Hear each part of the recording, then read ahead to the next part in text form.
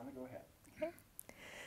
Today is Monday, September 25th, 2017. Uh, my name is Hannah Crawford, and I am the oral historian for the GPEI History Project. I'm at the Centers for Disease Control and Prevention in Atlanta, Georgia, with Dr. Bill Foege. Thank you for being here. Um, and we are going to talk about intersections of your career and experience with polio eradication. Well, thank you. I've had the chance to watch the entire polio program from pre vaccine eras till the point now where we're almost at eradication. And I think the pre vaccine era is something that most people will no longer relate to because uh, they only know this by history. But we did not really have polio outbreaks until the late 1800s when they started in Scandinavia and then Europe and then in the United States. And people attribute this to the fact that with poor sanitation, a lot of children were exposed to polioviruses in their first year of life when they were still protected by maternal antibody. And then as sanitation improved, there was a delay in exposure to poliovirus, and so they no longer had the protection of maternal antibody. And it became known as infantile paralysis. And some people weren't exposed until they were adults, like uh, uh, FDR. And in the 40s and 50s, outbreaks became more and more significant in the United States. And I recall this so vividly the, the fear that people had every summer. And while they closed swimming pools and movie theaters and so forth, they didn't really know why they were doing this because no one knew how the virus was spreading. And uh, so it was a great day in 1949. I was only 13 years old, and a person who would turn out to be one of my mentors, working in the lab as a virologist, Tom Weller, was able to grow poliovirus for the first time. He wasn't trying to grow poliovirus. He was trying to grow chickenpox virus. And he had come up with a new uh, medium to try to grow this in. And he filled many vessels with different strains of chickenpox. And he had three left over. And on the spur of the moment, instead of discarding them, he put poliovirus into those last three. And over the next weeks, he was surprised that chickenpox did not grow, but polio did grow. Did he choose polio? Was that his plan? No, there's no plan. And he was frank to say this in later years that he, was just a very fortunate person at the right place, the right time.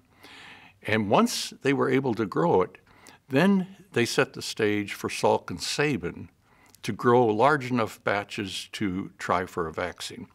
Well, Weller and his two co-workers then got the Nobel Prize. And I didn't know him until years later. I was working for CDC as an EIS officer when I read an article. It was his uh, commencement address to the Harvard Medical School. And it was called Questions of Priority. And the basis of this was you now have some of the best training in the world how are you going to use those skills? Will you use them in the places where people really need them? And I liked this so much, I applied to spend a year with him, but I was so dumb, I didn't know he was a Nobel laureate. And I did spend uh, a year with him. Well, within about four years, that was 1949, within four years, Salk had already developed a kill vaccine. He took the virus and he was able to inactivate it and then made a vaccine that, when injected, produced antibodies. Salk did not want to do a field trial. He said he was so confident that his vaccine would work that it would be immoral to have a placebo group. Well, he had a mentor by the name of Tommy Francis. Tommy Francis was a virologist, first person to ever isolate flu virus. And he said to Salk, that's not the way science works. You have to do a field trial. And so Tommy Francis went ahead and did the field trial. An incredible field trial. In two years' time, he employed hundreds of thousands of volunteers, 1.8 million children, all before computers. He did this at the University of Michigan, and I'm told that there were file cabinets up and down the halls with these 1.8 million records. And in less than two years, he had an answer. Why did he need such a big study? Because when polio goes around, it infects a lot of people, but very few of them get paralysis. Some people say maybe only one in a thousand actually gets paralysis. So you need a big trial to show a difference in, in paralytic rates. 1.8 million children. Then on April 12, 1955, he had a press conference at the University of Michigan. And he had famous journalists there like Fred Friendly, Edward R. Murrow, and he came out and in four words he summarized what he was about to present. Safe, something, and effective. And with those four words, the journalists started jumping out of their seats trying to get to a phone. This was all before cell phones. And uh, it, it, included Edward R. Murrow. And he that night took Salk to dinner. And he said, Young man, today you have lost your anonymity. And then he gave Salk a watch that Salk wore for the rest of his life, and he used to show it proudly that he got this from Edward R. Murrow. Well, this was a high point, of course, scientifically. Um, safe, potent, and effective. That's, those are the four words. okay. Uh, so the high point scientifically was that day. No one knew that there was going to be a higher point within a couple weeks because the day after the announcement, people were so overjoyed, and then they started asking, what's the government going to do about it? Well, the secretary of HEW was Oveta Hobby from Texas. And she had come to Washington saying she would not do anything that assisted socialized medicine. So she had no plan at all for the government to do anything. President Eisenhower told her to come up with a plan fast. So she had a press conference and announced that she would seek an appropriation to buy polio vaccine for poor children. That sounded very good, except Senator Lister Hill then had a press conference and said no American child should have to declare themselves poor in order to be protected. I will seek an appropriation for all children. And that's what he did. Uh, months later, it passed in the Senate. This became the beginning of our immunization program as we have it today, that the federal government actually buys the vaccines for all children in this country. So it was really quite a day because that day, the vaccination status went from protecting individuals to protecting individuals and society. There was now a social contract implied in being covered by this vaccine. And as an aside, Lyndon Johnson used the same reasoning 10 years later to approve funding for the smallpox eradication program in the world, that no one should have to declare themselves poor, that we were going to get rid of this in the entire world. Were there any objections to that approach? Uh, many, uh, there were many objections to the approach because some people did see this as socialized medicine, and it is, and and it's effective, and it's worked all of these years, and so it's one area of our medical practice where we actually have a single payer system, and it works, and people forget that. Uh, I might say as an aside here that we also have a single payer system for the military. And people do not think about that. And yet the military is able, see, the people that are opposed to a single payer system see it as, socialism and that the marketplace should be in charge. With the military, we have a single payer system and then they use the marketplace to provide everything they need. There's no reason we couldn't do the same thing in uh, medicine. So 1955, now we have a, a vaccine. Salk was so happy that we had a field trial because just weeks later, we suddenly had what's been called the Cutter incident, where children who received the vaccine came down with polio. And this began the reputation of the EIS in this country because Alex Langmuir, who had started the EIS five years earlier, overnight developed a polio surveillance system. Only the second national surveillance system that we had for any disease in this country, the first being malaria in 1950 and now polio in 1955. Could you describe that surveillance system? The surveillance system consisted of every child with polio who had received polio vaccine was individually worked up by an EIS officer. These EIS officers were sent out and they would do histories and physicals. They would find out when did they get the vaccine. They would trace the lot number and the maker, and they very quickly were able to show this was due to the Cutter laboratories in California and three other manufacturers did not have this problem. If there had not been a field trial, I think you would have to stop the entire program. You couldn't continue it with the other three manufacturers. So the uh, surveillance system then made the reputation of the EIS program. But then Langmuir went a step further. He predicted what the epidemic curve would look like based on how many doses of the vaccine had been given and then he predicted what the secondary epidemic curve would look like of people who got polio from those people. And he was so close on both counts, it turned out to be part of the important history of CDC establishing themselves as being able to predict what might happen. So this was all in 1955. Within six years, Albert Sabin had developed his own vaccine. It was an oral vaccine. So you gave it on a sugar cube. And the difference between the two vaccines is the Salk vaccine produces antibodies. A new person will get the disease in their intestine, but the antibodies prevent that virus from going to the nervous system, causing paralysis. With Sabin's vaccine, the immunity was in the intestine itself, and so you could not even have the infection. And so Sabin vaccine by 61, 62 became uh, widely used in this country. I started the EIS in July of 1962, and I recall vividly just before we were sent to our assignments at the end of that month that Alex Langmuir called everybody in to brief them on where we were with polio. And with the Sabin vaccine, he had news that bothered him.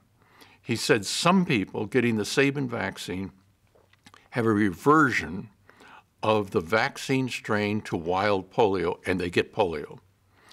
At the time, they didn't know what the risk was, but they were estimating about one case of paralytic polio per million or two million doses of vaccine. So a low risk, but it was there. So we went off then to our assignments. Mine was in Colorado. And in Colorado, we started having Sabin Oral Sundays, SOS Sundays, where we would give uh, Sabin vaccine, sugar cubes. Who received that vaccine? Uh, children, but anyone could receive it. But the vaccine was aimed at, at protecting children because uh, they were the ones at highest risk. Yes, there were a few adults still getting polio, but it was children. And the theory was if you stopped the transmission of the poliovirus, you protect the adults also. Do you recall where the children were from? Were they all drawn from certain geographic areas? Were they targeted socioeconomically? Every state had their own program, but in Denver, we had so many sites on Sundays where you could get the Sabin vaccine that people were coming from every place. But you had them uh, so spread out that people did not have to travel far in order to get them. But an interesting thing happened. I was asked to present to the Medical Society, and they thought the risk of paralysis was so low it should not even be mentioned. I was arguing it may be low, but they have to parents have to know everything we know. We cannot have secrets because the first time you have a paralytic case and someone who got the vaccine, uh, how do you answer that? But if they know in advance, that there's a small risk, then you've already answered it. Well, I was getting no place in my talk to the Medical Society until a man by the name of Gordon Meiklejohn, head of internal medicine at the University of Colorado Medical School, stood up and he just said, He's right. We have to be transparent. He had such a good reputation in Colorado, there was no more argument. And that was uh, part then of, uh, of what happened. Did you know him? I did not know him at that time. I certainly did appreciate him.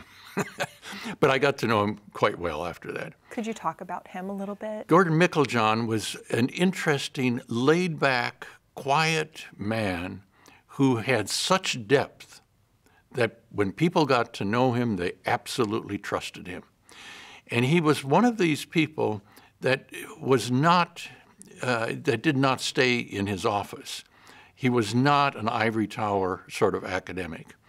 And in fact, later on in the 1970s, when I worked in India for smallpox eradication, Gordon Meiklejohn came as a volunteer and for three months. And then he went as a volunteer to the smallpox program in Geneva. So he was very much involved in the field work and not just teaching in an academic setting. So now we're up to the uh, uh, early 60s and the Sabin vaccine. Well, during the Salk years, polio decreased dramatically in this country. It was amazing. But then people switched over to oral vaccine because the advantage was seen as this intestinal immunity and stopping the spread of the virus as well as stopping the paralysis. We later learned this is, is not all quite as simple as that, and I'll get to, to that in a moment. But people went then to using oral vaccine in this country. So this is the late 60s. We had our last outbreak of polio in this country in 1979 in an Amish community in Pennsylvania. And the, it spread to other states, but it always stayed in the Amish community, which showed that the immunization program had actually provided very good public prevention because it did not get out of the Amish community. But an interesting thing CDC at that time, for the first time, was able to fingerprint that virus. And so they were able to show that it was the same virus that went to the other states. It was not more uh, two outbreaks or three outbreaks uh, that you couldn't tell the difference. It was one outbreak. Then they were able to show it was a virus that came from a religious community in Canada. And then they were able to show it was a virus that came from a community in the Netherlands. And then they were able to show that that virus went back to the Middle East. And uh, it was such an exciting time. I had no idea what that might mean at the time. If you can fingerprint a virus, are there legal implications if you can prove who you got your disease from? It's turned out not to be that kind of problem. But the classification and identification has become more and more sophisticated. And so it's been able it's been possible to track the families of viruses. Has so, that had any political implications? Is that what you mean when you're saying it turned out not to be that kind of problem? Yes, I, I worried about okay, if um, the Netherlands can say we got this from such and such a country, they should be paying for this. I wondered if that would happen, but it has not happened. So, so that takes us to the late 70s. A few years later, in the early 80s, and I didn't look up the date of this, but Dr. Macedo, who was head of the Pan American Health Organization, called in a group and he gave us one day to go through every bit of information that he could gather on polio. And he said, At four o'clock, I want you to come back and tell me what I should be doing about polio in this hemisphere. The one thing I do not want, I do not want you to come back and tell me I should eradicate it from this hemisphere. He said, I have no interest in talking about that. I want to know what I need to do to control it. So we went through the day, and what we found is with this fingerprinting so sophisticated, we could follow each family of polio viruses and show when they were stopped and how infrequently they came popped up someplace else. And so you knew you had a way of tracking and getting rid of an outbreak, and you knew where to put your resources to stop an outbreak. And we concluded one just has to try to eliminate this virus from the entire hemisphere. When you say we, who else was working with you that day? The, it included Ciro de Quadros, who was a famous uh, vaccinologist from Brazil who worked on both smallpox and on polio and immunizations in general. It included D.A. Henderson, who at that time was now Dean of the School of Public Health at Johns Hopkins. It included myself. It included four or five other people. So it was a small group, and we really worked hard that day going through the materials. So at four o'clock, we have our meeting, and we tell him we've concluded he should try to eliminate the virus from this hemisphere.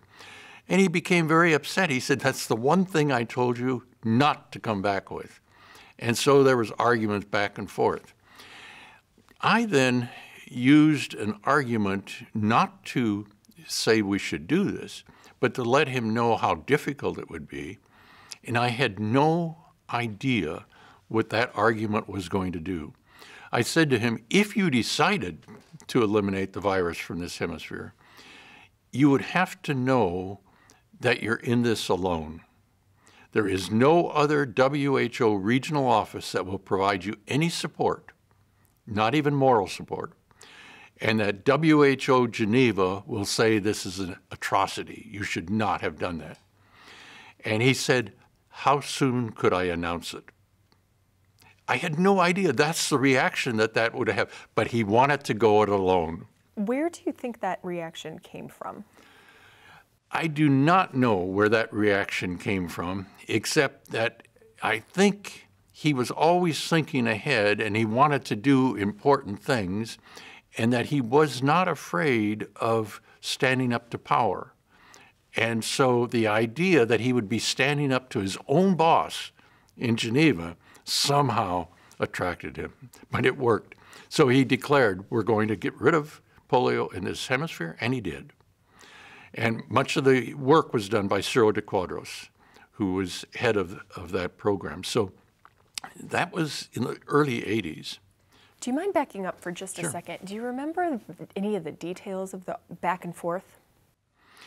The, the details are lost in the sense that, that we were trying to convince him this was worth doing, and he was saying, I am not going to do that. That's the one thing I'm not going to do. It's too difficult. And, uh, but it, then this challenge that he would have to do it alone somehow attracted him in a way that I can't quite understand. And uh, Dr. Macedo is still living in Brazil, and it would be worth trying to get an interview with him. His sister used to work at CDC, and uh, so it should be easy to to uh, track him down. Yeah, I wonder if he would, if he's ever in town visiting. I know that I, there's some travel planned, mm-hmm. but I'm not sure what that will look like at this point. So well, it's worth trying. It's worth trying. So that was in the early 80s. Then in 1985, when Rotary saw what had happened in this hemisphere, they made a decision to enter the polio eradication field. And a man by the name of Herb Pigman was in charge of this for Rotary. And I had uh, numerous conversations with him.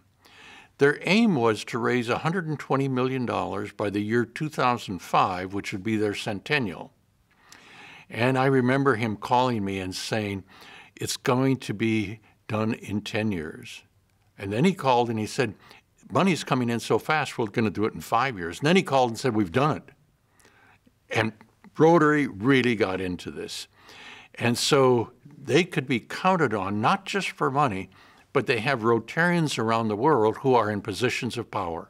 They're entrepreneurs, they're, they're academics, they're in the, uh, uh, in the sales force. I mean, th- these are people worth having on your side when you get to these uh, countries. Then in 1988, March, we had a meeting in Talloires, France, sponsored by the Task Force for, uh, for Child Survival, to look at what's the science that we now have behind polio eradication. And we invited the ministers of health of the biggest countries, so China, Nigeria, India, they were all there. And presentations were made over several days on the science. And the science was pretty convincing, and you could see as we were getting close to the end of this meeting, these ministers thought it's worth doing. And then Herb Pigman got up, and I remember his words as he said to the ministers of health that you are going to meet Rotarians in your country, and they're going to be so invested in this program, you will think that they actually produced the vaccine. He said, Be nice to them because they're going to help you, and they will help you with transport and with uh, publicity and with uh, extra support. And so he said, They can help you eradicate this disease. So this is March of 1988. And that meeting ended on a really high point with people excited. There's another aside to this, though. In March of 1988? Say it again. In March of 1988? In March of 1980, another side to this. And that is nowadays we talk about the millennial goals in health, and, and uh, everyone takes this for granted. That idea started here in Atlanta, 1978, a meeting at Whitehall in Emory, the second day at CDC, where experts from around the country came in to see if we could come up with objectives in health by 1990. And we came up with 220 or so objectives. And then we tracked them over the next 12 years. And in 1990, we had a big meeting to see how have we done. Amazingly, 50% of those objectives had been achieved. 25% had not been achieved, and 25% could not even be measured. so it shows how far ahead people were thinking. And so some people see that as a glass half full, and some see it as a glass half empty. But the fact is, it started a process so that every 10 years, this country sets new health objectives and tracks them. And it doesn't matter who's in power, Republicans or Democrats, this continues every 10 years. Well, it was at this March 1988 meeting in Talloires, France, that for the first time, objectives in health for children in the world were that this was presented, and it was presented by Rafe Henderson, a CDC person who was now head of the vaccine program for WHO. And that led then to the UN doing millennial health goals and, and now sustainable goals. And so all of that started here in Atlanta and then was fueled in uh, March of 1988. Well, these ministers then went home. Two months later, they assembled at the World Health Assembly in Geneva, and they voted in to have a polio eradication program for the world.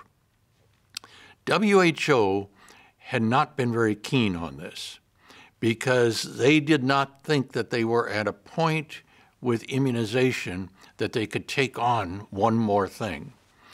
And yet they went along with it. Why did they go along with it? Because Halfdan Mahler, who was a visionary leader of WHO for many years, was about to step down and his replacement had now been chosen, Dr. Nakajima from Japan.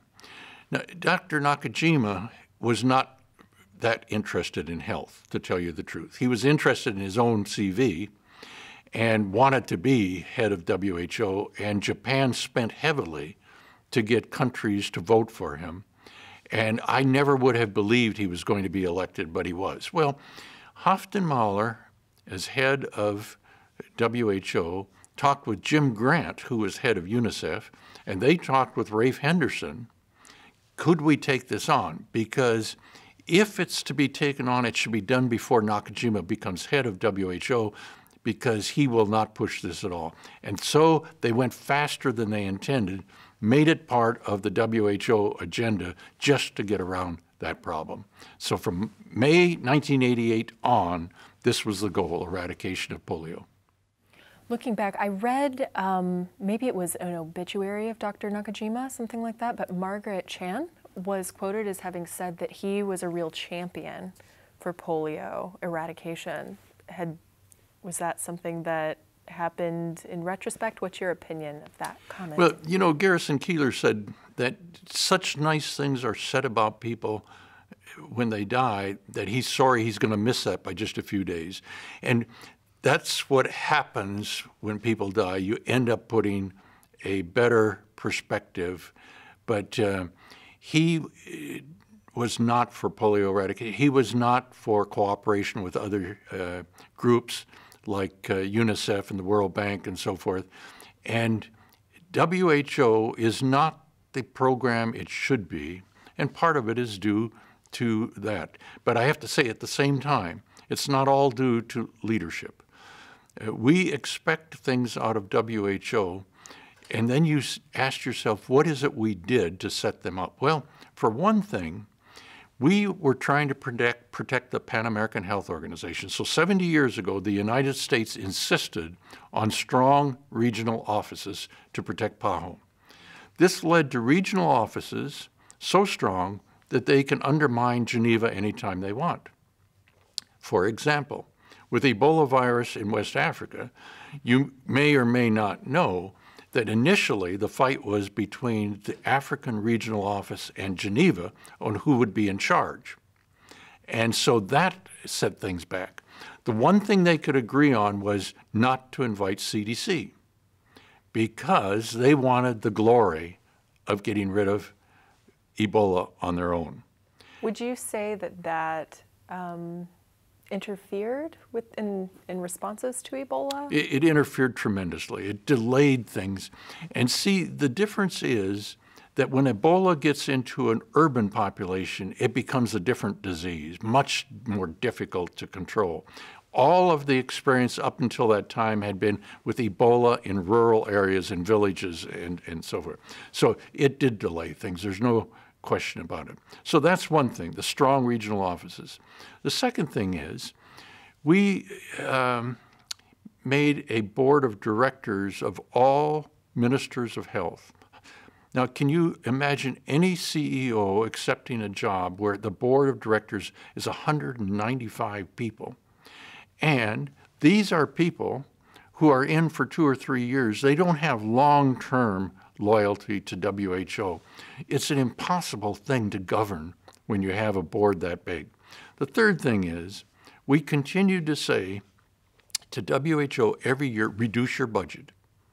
The United States continued to say that also. So we always were putting them on starvation rations. And then we act surprised when they cannot respond to Ebola. I mean, it's, it, we put them in an impossible situation. Years ago, when I was president of the American Public Health Association, I think that's when it was, the United States was not actually paying its dues in full to WHO. And I wrote an editorial and I quoted Dolly Parton, who said, You'd be surprised how much it costs to look this cheap. And when Ebola came along, we found out how much it costs to be that cheap. So uh, when I criticized WHO, it's for good reason, but we set up the plan that made that uh, necessary for, for WHO.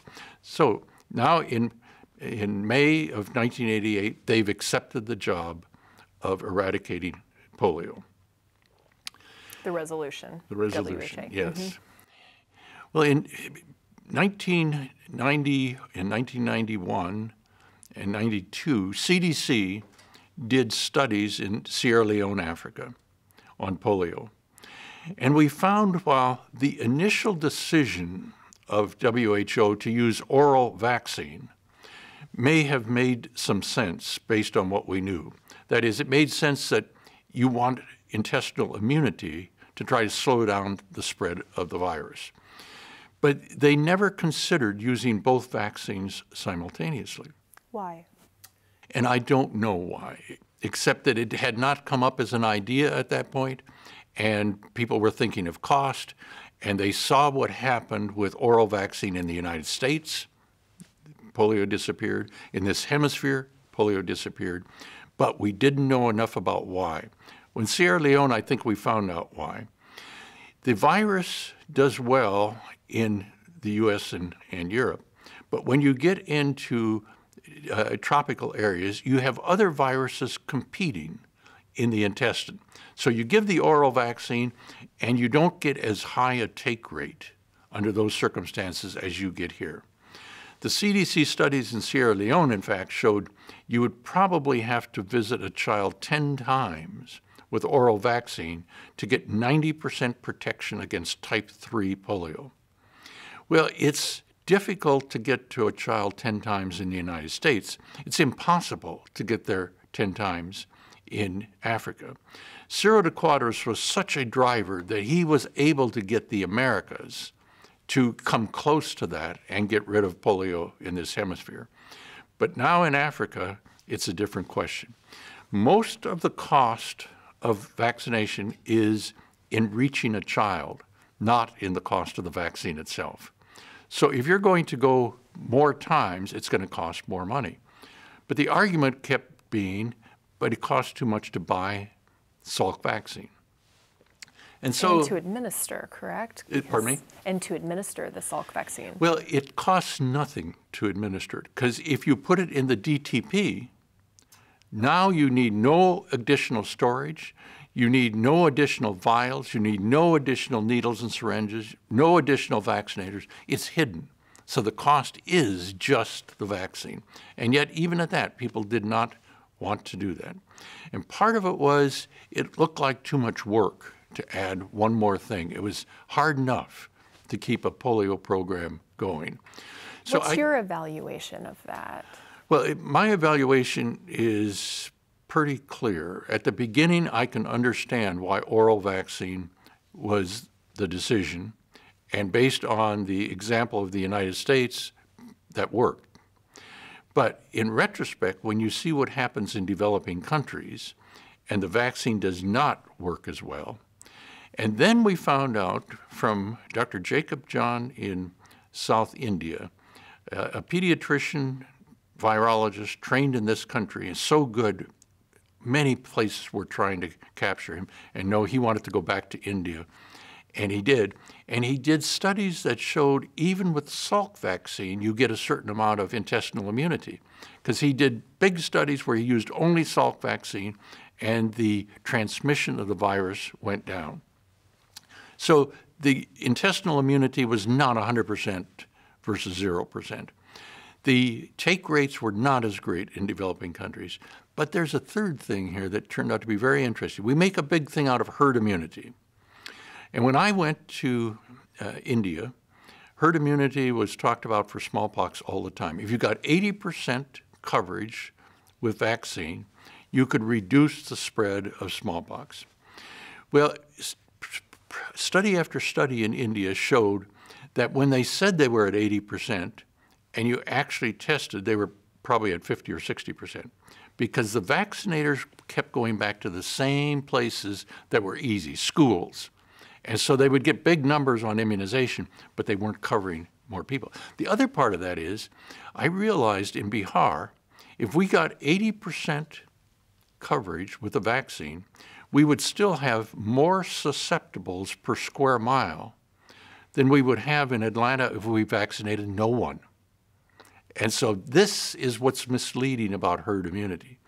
And so now we have polio, and in parts of the world where you have high population density, many children, poor take rates from the vaccine, it's no wonder we were having problems.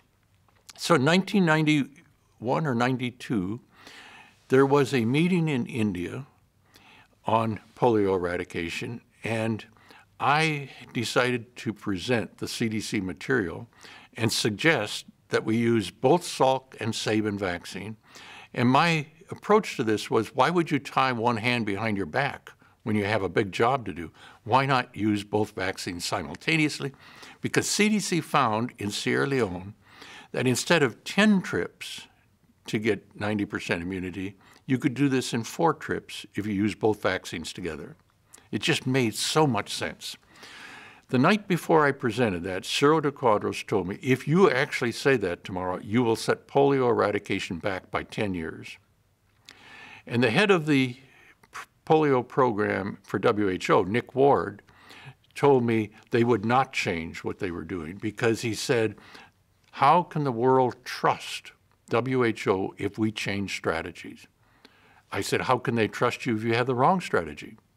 And so I made it very clear in that speech this is what we had to do. And WHO made the decision not to change. And only a small number of people were in on that decision, but it was rigid. Ciro de Quadros was one of them. Ciro told me before he died, privately, he said to me, You were right all the time about using inactivated Salk vaccine and Sabin vaccine. But he said I never could say that publicly because I would be letting down the people who had made the decision, and he was one of them. Who were the other people who made that decision? Uh, Nick Ward, who was head of the polio program, and D.A. Henderson. They were the three key people. There were other people involved, but they all would bend to the will of those three. They were so strong. And uh, so it, it was a good decision originally. This is all an answer to your question of how did I feel. Good decision originally. And then as we got more information, it just did not hold up. In 2001 or 2002, I was working for the Gates Foundation. Could you talk about how you got there? Like what happened between CDC and Gates?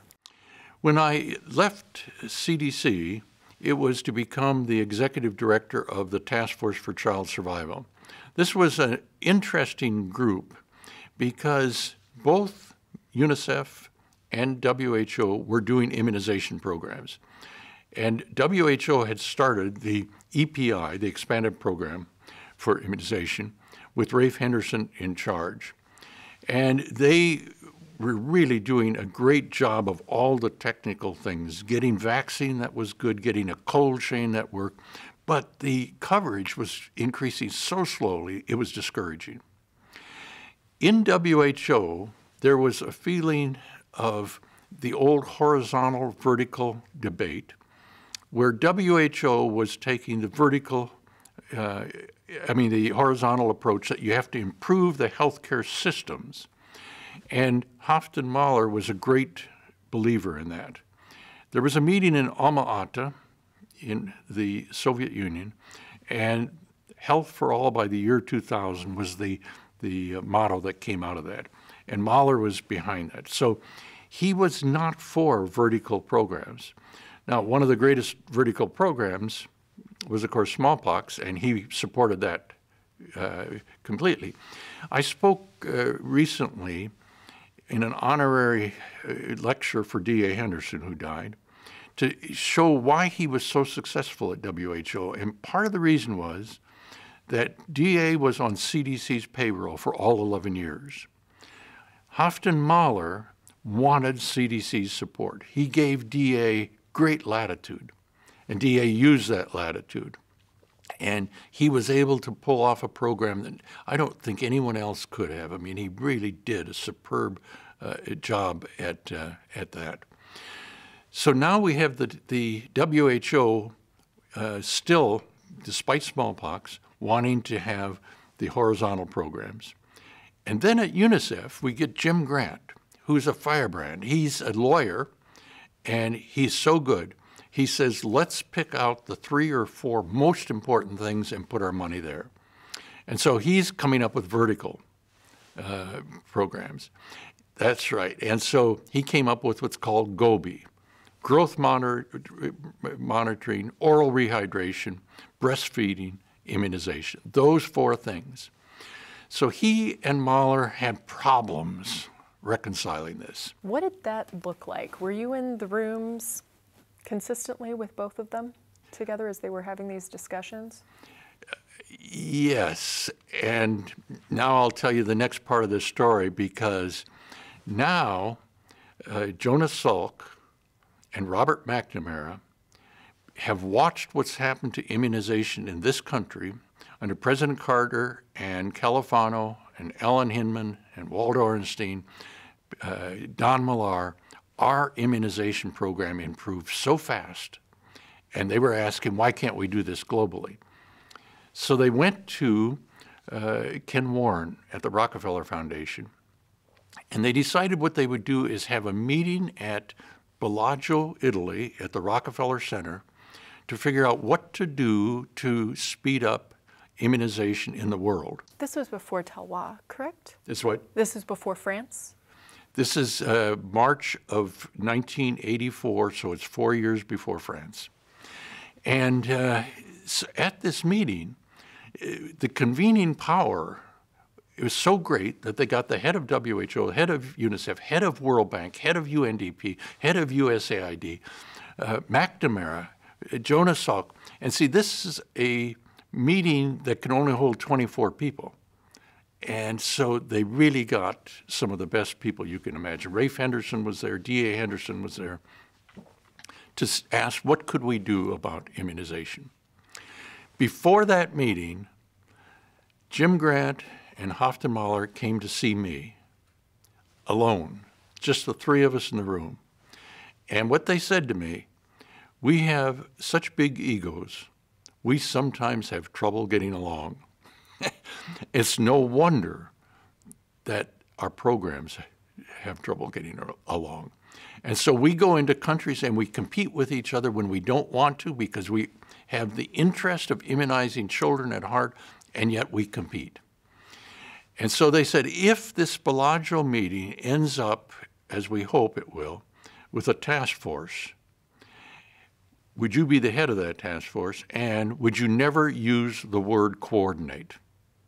Because no organization wants to be coordinated. Because it's not important enough? They see themselves as the head. And so we started using the word facilitate. And we found out that there was really quite a lot of antagonism between those two organizations, even though they had the same objectives. And we were able, with, month, with meetings every three months for 10 years, we were able to bring up the immunization levels in the world from about 15% to September 30th, 1990, the World Summit for Children at the UN, and Jim Grant got up and announced 80% of children in this world have now received at least one vaccine. He said this is the biggest peacetime endeavor the world has ever seen. And so you see what happened in six years' time because the heads of agencies decided they wanted it to happen. Can you discuss that in fuller detail? I, have heard that one of the, the things that you bring to this work, to global health, is your amazing ability to connect with people, work with people. How did you work with that dynamic of competition? The, it would not have worked if the immunization people in UNICEF and WHO had come to say, can you help us work this out? It has to be the heads of the agencies. I mean, that's absolutely crucial because then everyone below has their marching orders and we're going to.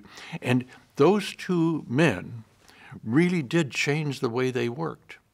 Uh, Jim Grant came to me one day and said, We need to have some sort of publication that goes to all immunization workers, regardless of who they're working for, lets them know what are the problems, what's the accomplishments. And he said, if we did this at UNICEF, it would just be one more problem with WHO people. He said, I'll give you $60,000 a year if you do this out of the task force. So the task force never had much money, but people were always trying to give us money to do things. And so we never had to go out to solicit. At that meeting in March of 1984, uh, Robert McNamara said if we could raise 100 million new dollars for immunization, everything would change. And everyone said to him, there's no way to raise 100 million new dollars because the world would say, well, you have to take it out of something else in health. You can't just add it to what we're doing in health. Two years later, we would not have settled for 100 million new dollars Italy alone gave $100 million for immunization in Africa. I mean, think of that. What happened with the task force was people thought there was now a global plan. And there wasn't. I mean, we were just barely hanging on, trying to figure out what to do next. But with people now giving money, $100 million from Italy, we had to come up with a plan. And so we continued every three months working at what needs to be solved in order to improve immunizations. Then people wanted to join this small group of, that met every three months, which included uh, WHO, UNICEF, World Bank, UNDP, and the Rockefeller Foundation. Five people. And uh, we knew USAID desperately wanted to be in that. Why we, were they not? Because if you let one bilateral in, how can you keep the other bilaterals out? And so Danida and, and uh, would want to join. Uh, CIDA Canada, SIDA Sweden, they would want to. And so we had to just draw the line at the people that had started this. But what we did was every 18 months, we had a big meeting where we invited all those people. So we'd have 150, 200 people, and we would meet at different places. And we'd always call it a Bellagio meeting, even though the next one was in Cartagena. And uh, Colombia, yes. In Colombia. And uh, the president of Colombia was President Betancur. And he made such a big thing out of the program, the immunization program, that they had immunization days. Rotary was helping to uh, introduce it. And then Betancur himself would give the signal to open the clinics by giving oral polio vaccine to a child on TV.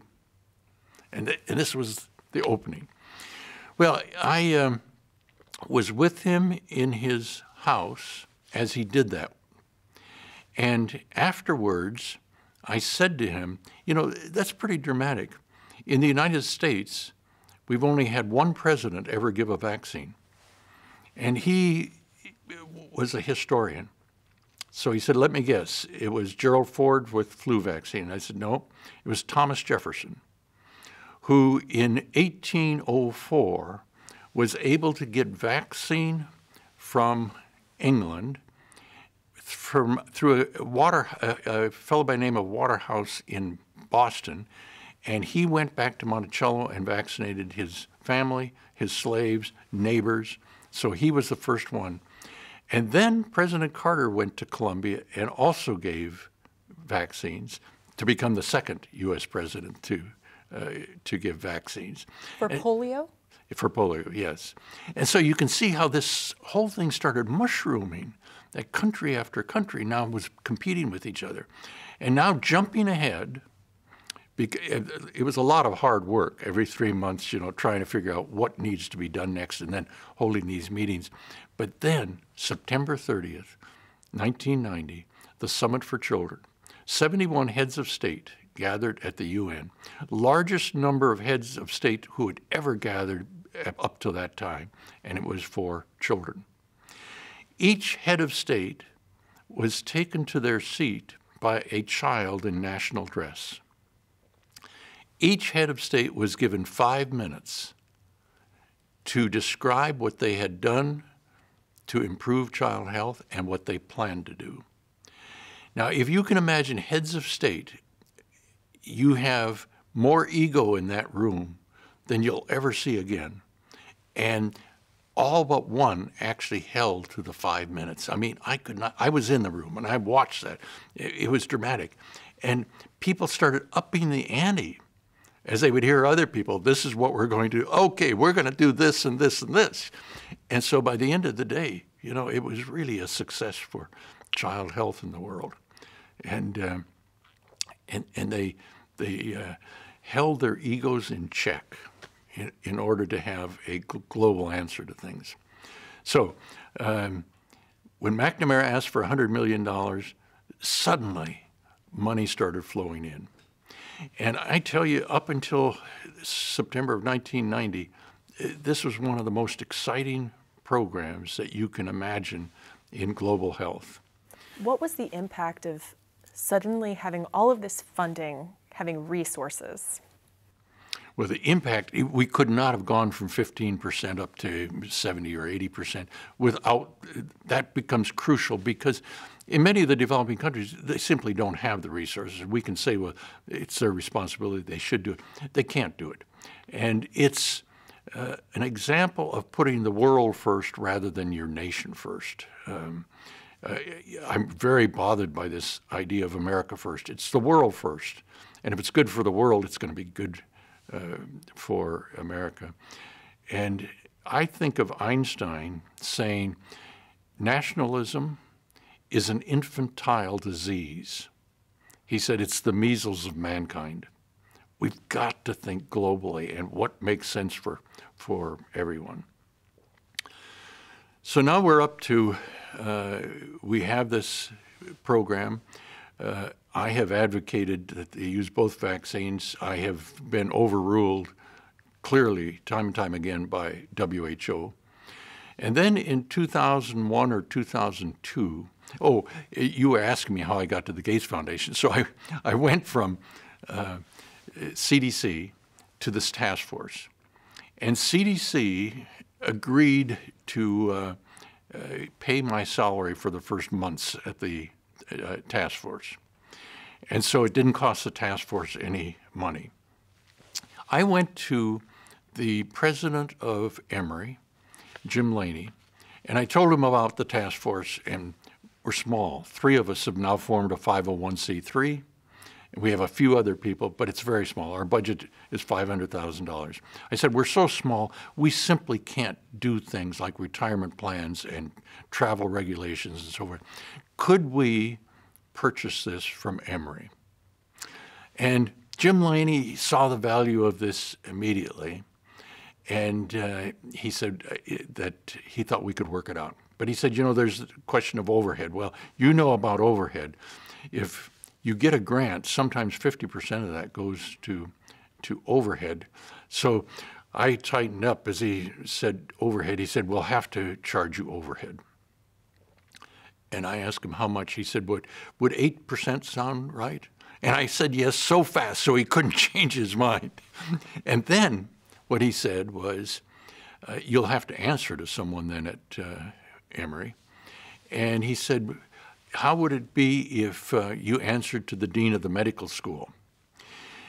Jim Laney had no idea that I had many years of experience with this dean because he had worked at NIH. He did not like public health. Uh, he always said no first before anything else, and I knew this would be a problem. But I said to Jim Laney, yeah, I guess that could work, but I said, let me give you one other idea first to see whether it would work for you. I said, what would you think if I answered to you if I promise never to bother you? And he looked startled. and then he said, okay. So now I'm answering to the president of Emory. We have 8% overhead to do all of our support. And I have access to everybody at Emory because I'm answering to the president. Then at CDC, the head of CDC um, has now said he'll pay my salary. I have access to everyone at CDC. I mean, it was a perfect situation. And so we got a lot of borrowed, borrowed help. But we also found out that we could do things that other people couldn't. And they were always, people were always coming to us saying, we'll give you money if you'll do this. One example, CDC wanted to assign an epidemiologist for polio to Vietnam at a time when the U.S. did not have diplomatic relationships with Vietnam. And so they couldn't assign someone. So they came to the task force and asked, is there a way you could do that? Well, my deputy, Bill Watson, just loved those kind of questions because he just liked to solve problems. And so what we did was we hired a Frenchman on money we got from WHO. We assigned them as a task force to Vietnam on the condition that he answer to CDC for supervision. And, you know, it worked perfectly. We, we were able to solve so many problems like that. We had no trouble getting uh, support. And so by 1990, uh, we've reached that level of. Uh, but then in the 1990s, two things happened. Uh, Mahler retired from WHO, and Jim Grant died.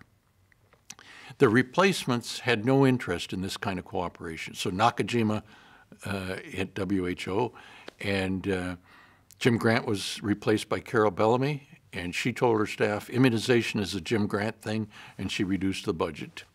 So the 1990s turned out to be very difficult for immunization in the world. And then in the late 1990s, the president of the World Bank said, We've got to solve this. And so he called people together again. And this time, Bill and Melinda Gates got involved, and they agreed to put up $750 million for five years to support Gavi, the Global Alliance for Vaccines and Immunization. And the rules were it would be chaired one year by the head of WHO and the next year by the head of UNICEF, and it would go back and forth. Suddenly, UNICEF had to get back into immunizations. I mean, you can't turn down $750 million from the Gates Foundation. And so this brought things back, but now in a way that I think will continue forever. So they put up $750 million and expected others would join in, and they did not. I was at the Gates Foundation by then, and I worried. After four years, Bill and Melinda Gates said, We're going to put up another $750 million for an additional five years. And within a day, Norway said, We'll add $250 million. The UK said, We'll add over a billion dollars. All of a sudden, the matches, because people were not sure the Gates Foundation would stay with us. And once they showed they were in this for the long haul, suddenly they got coverage. And then it was possible to come up with rules on how would countries get vaccines. They have to meet certain criteria. They have to show that they can deliver vaccine. And then, under Bill and Melinda Gates, they've now put the uh, more expensive vaccines under Gavi so that poor countries now have access to even the expensive vaccines. See, we have two vaccines against cancer. One is hepatitis against liver cancer, and this is a big cause of death around the world, and the other uh, against human papillomavirus, which leads to carcinoma of the cervix. And so I, I tell you, I am so proud of what they did. I often say to students, when the history of global health is written, we're going to look back and we're going to realize the tipping point was about the year 2000 and due to the Gates family. They now made global health uh, accessible, important. You could have a track that led to global health. You could have research in global health. And so this has just been one of the best things that has happened. I'm, I'm so proud of, uh, of what they have done. Then I went from the uh, task force to President Carter asked me to be the executive director of the Carter Center. And I told him that my experience was all in global health. I, what do I know about other things? And should I be diluting what I'm doing by getting into other things? He came back the next day and said, Would it make a difference if I became interested in global health? And of course it would. And that's why he's done all of these things in global health, the guinea worm eradication, lymphatic filariasis. And so we actually moved the task force office into the Carter Center. There was no daylight between the task force and the Carter Center in those days because I was head of both of them. And we just continued to do one thing uh, after another. Then the Gates Foundation was developed, and in the late 90s, um, Bill Gates and Melinda Gates asked if I would become a consultant to them. I drove down to Plains and talked to the Carters and asked them, is this a reasonable thing to do? And they said yes. I mean, they're, they're really going to make a difference in the world, and so uh, be part of it. Now, President Carter did suggest he might be cutting his uh, resources away because I would be afraid to give money to the Carter Center or suggest it for the Carter Center. It's all worked out. Did you have any reservations about making that transition? I- was so, see, if you're in global health, you think like a poor person. You never have the resources you need, and it's always trying to figure out how do you get by and how do you let all these things go because you don't have money for them. It never occurred to me that a rich person would become interested in global health. Rich people become interested in cancer, in heart disease, and mental illness because someone in their family gets it. Global health, why would they get interested in global health? And so it never dawned on me that that would happen. And then to have the richest person in the world become interested, and then to have him get the second richest person, Warren Buffett, involved. I mean, this is just beyond comprehension. And so it truly is the tipping point for global health. In my day in school, I could not find three people in my medical school with an interest in global health. Now, global health turns out to be one of the most attractive tracks in schools of public health, but in universities in general. And this, I think, is because of the Gates have made it Im- important. And when I'm assuming that you have conversations about this because you talk to lots of people, um, what is it as you're rallying the support? What is it that is compelling and makes people care about global health? I think the compelling thing about global health is in the long run, we truly are in this together. And with smallpox eradication, uh, when I was at CDC, you had to justify everything to Congress on the basis of direct health benefits for America. Dave Sencer said the direct health benefit in smallpox is to get rid of it in the world. And so he was willing to put domestic funds into smallpox eradication. That's not something that Congress would approve. I mean, it's unbelievable that Congress did not have the insight to see global health benefits the United States. You can make the case economically that if you have healthy people in other countries, you have better markets. If you have healthy people in other countries, they produce goods at a lower uh, cost that they can sell to you. I mean, there are economic reasons for this, but Congress had trouble seeing it. I remember one uh, hearing where a congressman was giving me a bad time because of what we were doing with flu and the Soviet Union. You could tell he was opposed to the Soviet Union specifically, but he was opposed to doing anything internationally in health in general. And so he was asking for justification. Why would you do this? And I asked him if he'd had his flu vaccine. And he said, yes, he had. I said, one of the ingredients of the vaccine you received was the Leningrad strain of flu, which the Soviet Union provided to us during the low period of flu in this country, and we were able to incorporate it in the vaccine for the next flu season. I could have left it at that, but I decided to twist the knife just a little bit, and I said, So it means you now have anti Soviet antibodies running through your bloodstream, and because of the fact that we worked with the Soviet Union. What did he say? We just went off to something else. It, uh, so uh, the the case for global health has become much stronger. Um, let me go fast forward to this last summer when Rotary had their convention here in Atlanta. Bill Gates came and he spoke to them. He asked me to meet him at the Georgia State Library in the afternoon after he gave his talk, which I did. He had a film crew there and a table with just the two of us to talk about the early days of the Gates Foundation without any format, just talking about. It. But he had a pile of books there. That was the one thing on his agenda. Because early on, and I went with the Gates Foundation in 1999, early on he asked for some books on global health. And I asked his staff, uh, what should I choose the two best books or the four best books? They said, we don't know, but don't underestimate him. So I went to his office with other people helping me, and we carried in 83 books.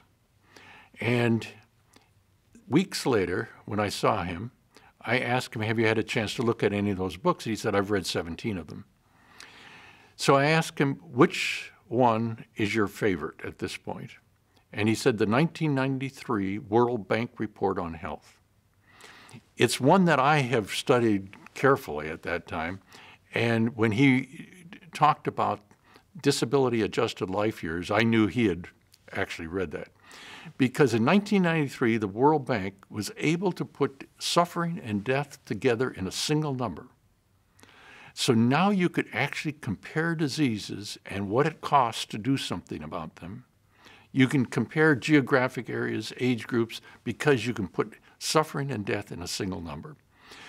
There's still a ways to go to make that more perfect, but it is such a step forward. And with that, you can prove the importance of global health for the United States because you can see what it, for one example, our investment in smallpox eradication is recouped in this country every three months because we don't have to vaccinate.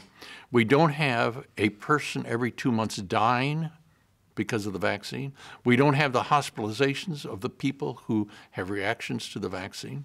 We don't have to do the same sort of foreign quarantine screening. And so we save that money every three months, which means we have just 10 and 20 and 30 times recouped our investment.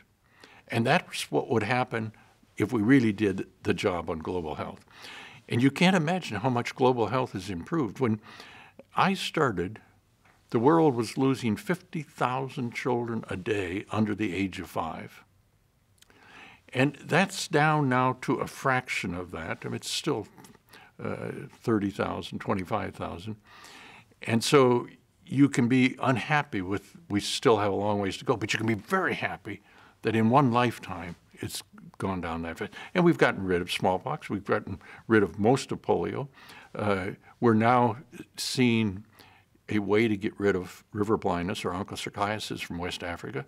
Lymphatic filariasis is going down, and these are ugly diseases. You know that it changes how people see themselves. Well, this is all off the track, and so I ended up at the Gates Foundation. But in 2001, 2002, to get back to polio, they asked me if I would revisit this question of Salk and Sabin vaccine. So I came to CDC, and people here, they were in accord we should still be adding Salk vaccine to the program. It's late, it will cost more to get started again with producing the vaccine. But here in the United States, that's all we use is Salk vaccine. We don't use Sabin anymore. And we don't use it because of that risk. So we do have a template for how to make it and, and uh, produce at a certain level. So everyone here said we still have to do that. Plus, you need this at the end of the polio program because there comes a day when you have no more wild poliovirus and you can't continue giving oral or some of them will revert. So you've got to stop. But then how do you keep this from coming back in? If you were giving Salk vaccine in the DTP, you have an insurance policy. You don't have to do anything. You just drop the oral vaccine. And so everyone here agreed. I went to WHO. I had lunch with J.W. Lee, who was head of WHO at that time. He's from South Korea. He had worked in immunization in Asia, so he knew the the uh, the problems, and he just immediately agreed that's the thing to do. It immediately, but he said, "How do I do it?" I said, "You become a dictator, and you say the new norm for the world is we're going to put Salk vaccine in the DTP, and we're going to continue the oral vaccine as long as we have polio. And as the dictator, you go around and ask rich countries, will they subsidize the poor countries until the poor countries can get this into their budget? He was so excited about it. And by the time I left, we had a, a plan for how he was going to get his own scientific committees to uh, back him up. The polio people were not that happy because it's one more thing that they have to worry about. And I tell you, they were working so hard. And so I left very happy. And what happened, J.W. Lee had a stroke and died, and we were back to ground zero. Now, what did you do? Well, we're, now we're at a point where it, the science has become so clear that uh, they are adding uh, the Salk vaccine. I should step back just a moment to say, though, that 10 years ago, there was a question of whether we had a different virus in India than elsewhere because they simply couldn't get rid of it. In two places particularly, Uttar Pradesh and Bihar, two states that I worked in for smallpox eradication, and they turned out to be the last problems with smallpox, and now here they are, the last problems with polio. And people were worried uh, this must be a different virus because we cannot stop it. And I said, it's not a different virus. We have all of the problems of crowding, and therefore the herd immunity level has to get so much higher. Number two, you have these children interacting at early ages, spreading uh, that uh, virus. Number three, the take rate is not as great with oral vaccines, so you have to keep going back. So people argued, but the public health infrastructure isn't good enough. And I pointed out how often they were actually getting to children by two years of age. I said, there's no state in the United States that could do that well. This isn't a problem of infrastructure. This is a problem we should be adding the Salk vaccine to DTP. But we, we'll get rid of it, I said, even if we don't do that, but it becomes much more difficult. And now India is free of poliovirus. So, eh, you know, eh, one thing after another has happened. So, where are we at the moment? Well, I went then uh, to WHO.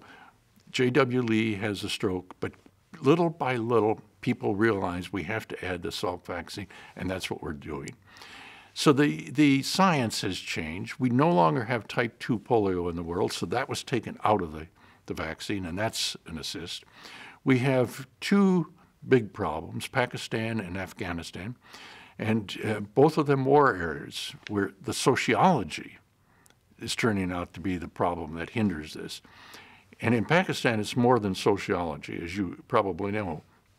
Our CIA was involved in trying to get uh, DNA using the polio program as a cover to see whether Osama bin Laden was in that house. And the Taliban has now succeeded in killing, I don't know, 60 or more uh, polio vaccinators. That's something I never would have seen 15 years ago. I mean, I would not have even thought about. And it's a tragedy of our time. Do you remember where you were when you heard the news about vaccinators being killed in Pakistan? I don't remember. I just remember it was such a letdown feeling that.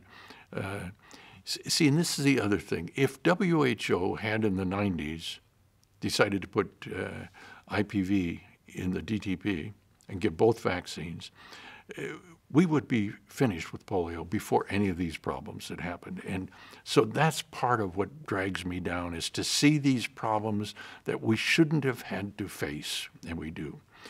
Now, we're still going to get rid of polio. It's just that it's much, much harder under these conditions. And when we get rid of it, then the question will be do we keep the Salk vaccine in the DTP? My guess is we will because it's a relatively cheap insurance policy. This polio virus is in many labs around the world. At some point, the polio virus is going to get out again. And when it does, if we have not kept IPV or Salk vaccine in the DTP, then we have a population susceptible and we've got to start over again. But if we just keep this in, it's a cheap insurance policy that we wouldn't have to do that. It's not going to be able to spread. So uh, we will get rid of polio because there is no real alternative. We can't go back to control. It's, it's too difficult. We have to keep going until uh, we actually get rid of the virus. Dr. Foege, there are a couple, I wanted to ask you for a little contextual information, and there's actually a lot already out there about your beginnings, um, but I wanted to see if you would introduce yourself, state where and when you were born, and just share a little bit about your early life. Okay. Um, I was born in Decorah, Iowa, and lived my first 10 years in Iowa in a, a town of 100 people. Uh, so small that when my family moved, the population went down 8%. And uh, we moved to the state of Washington.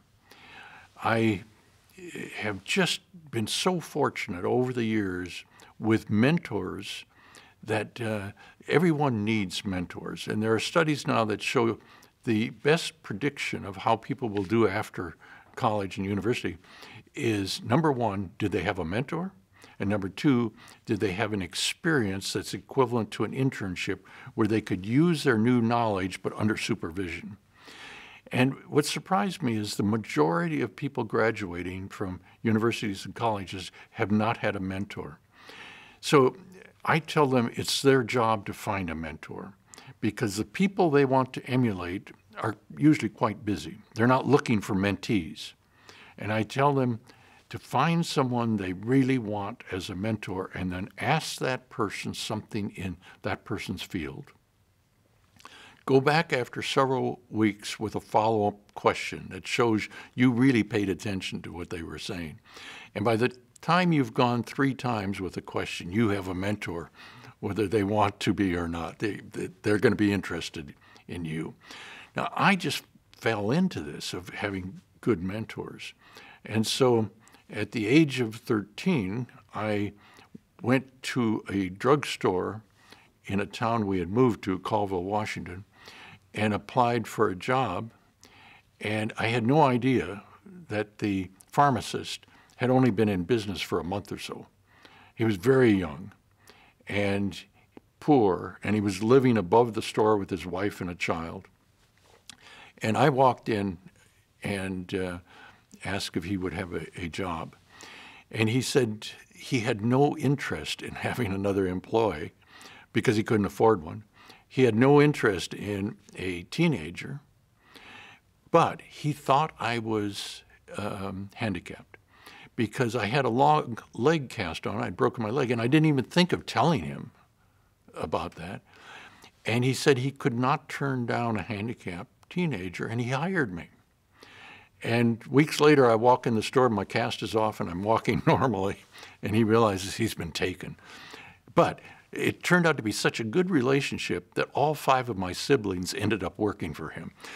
And uh, what was important was this was not a town that put great value in education, but here I was introduced to science because you use a metric system in the uh, drugstore. I was interest, I was introduced to magic of things that actually worked to, to cure people. And then a, one of the people that came into the fountain every day for coffee was a scientist who did assays from the mines. And he became interested in talking to me and invited me to his house at night to learn logarithms. And suddenly, this is a whole new world for me. And I go to school thinking, you know, no one in my class knows powers of 10. And isn't that something that here I have the opportunity? So I became interested in, in science. I went off to college, and my biology teacher was a forbidding uh, Germanic person, tall, white hairy, looked like Einstein. And he would walk into the class lecturing as he walked in. I mean, you had to be listening down the hall to hear him start his lecture. And he was no nonsense. He would come in and he would start writing on the board with both hands simultaneously, uh, families and phyla and, and things like that. that. And I think I went into biology thinking I'd be able to do that. And of course, it, it didn't work that way. But he turned out to be so important because he was well regarded by the medical school at the University of Washington. And when I went in my junior year to say, I think I would like to go into medicine, he said, Well, I'm willing to recommend you if you're willing to take a series of tests. And so he gives me IQ tests, the Minnesota multiphasic, things like that. And then when I go back, he said, Okay, I'll, I'll support you. And here's what you've got to do. and so you get someone like that. He was so um, overwhelming in some ways, but I ended up working as a lab assistant for him. And then pretty soon I'm working uh, on the weekends in, on his yard. And he and his wife were competing to see if they could bring me food without the other one knowing about it. So cake and ice cream and things. Don't tell Bill, you know, that sort of. So I went from there to uh, medical school, and I said there were only three people interested in global health. One of them uh, was Ray Ravenholt. I should say that the pharmacist that hired me at 13, I kept up with him until uh, some months ago when he died in his 90s. But I would, we would have phone conversations. Then I went off to medical school on Ray Ravenholt. He's in his 90s, and I keep up with him by, by phone. Could you talk about him? Tell a few stories about Ray Ravenholt. Ray Ro- Ravenholt uh, was part of a large Danish family in uh, Wisconsin. And they lost their farm during the Depression, and he talks about that winter of 1935, 1936, when they lived in the basement of a Danish Lutheran church that had no heat. And the uh, newspapers, if you go back now, you find it was one of the worst winters that the Midwest ever had. You know, temperatures of 30 below and 35 below zero, and they were in this church basement without uh, heat. How did they survive? And so you wore a lot of clothes, is what you did. And, uh, and his family turned out to be uh, really a very productive family. One of his brothers ended up as the chief aide to Hubert Humphrey. Uh, one of them, health officer for Reno, uh, Ray Ravenholt, ended up uh, becoming head of population for USAID. And uh, in medical school, I worked for him after school and on Saturdays because he was also the epidemiologist for Seattle King County. He was in the second class of EIS officers at CDC. And he said to me, if you're really interested in global health, you're going to find that there are no good tracks. Everyone has to make it on their own. But the EIS program is the best track because he said you'll be surrounded by people that are interested in global health, not just domestic health, and you'll make contacts for the rest of your life. And so that's what I did, and he was absolutely right. Then, as part of EIS, I read this paper by Tom Weller, and I go to uh, Harvard, and Weller becomes a mentor. I mean, I just kept getting good people. Alex Langmuir at uh, CDC, he really was an unusual person. All of these people had very strong personalities. I remember once with Langmuir, where we're talking about a subject and he's presenting his view on it. And I said to him, Yeah, but you know, you have to listen to the other side. He slammed his fist down on his desk and he said, There is no other side. so these were people of strong opinions.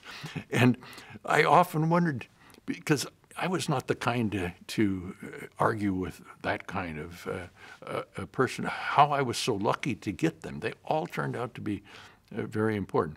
So I've ended up with mentors that are very unusual. When I wanted to get into global health, one of my mentors was a man by the name of Wolfgang Bulle. He was in the Nazi uh, military, and he was in medical school. He would spend a uh, quarter in medical school, and then he'd be in the armed services. And uh, he became a surgeon, went to India, spent 10 years as a surgeon for a church group. And I see him now in retrospect, as suffering from post traumatic stress disorder, spending his life seeking redemption for having been uh, a German in the Second World War. But he was so important to me because he was willing to support me in, uh, in global health. And you know, I tell students now that uh, I was told to develop a life plan. I said, don't waste your time. You have no idea what life is going to present, what opportunities will exist. Spend your time on a life philosophy, and then you'll know with each fork in the road what's important to you that uh, which direction you, you could take. It's, I would never, I went to Africa expecting to spend my life running a medical center there.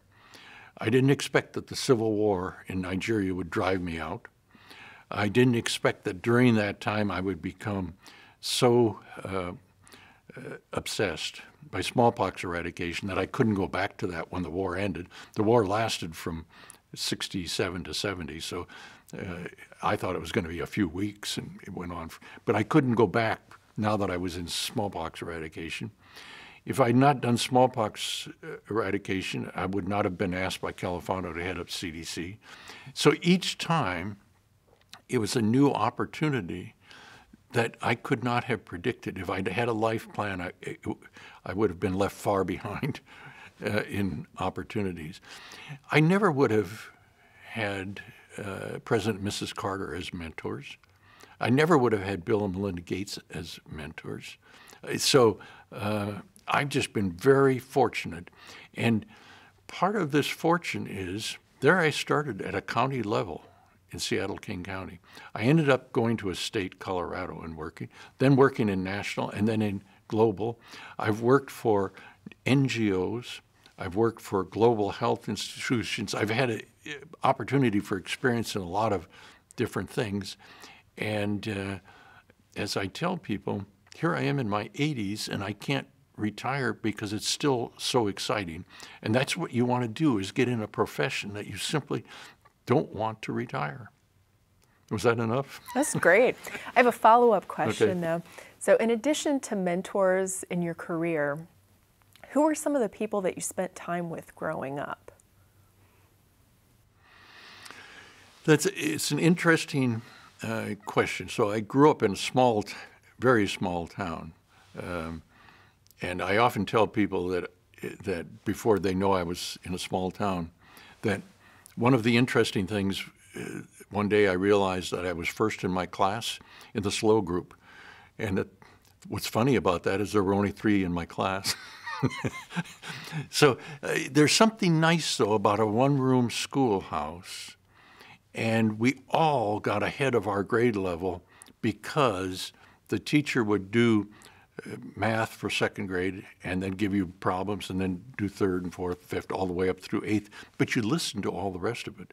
So by the time you were in third grade, you knew math all the way through eighth grade. It, that type, that was important.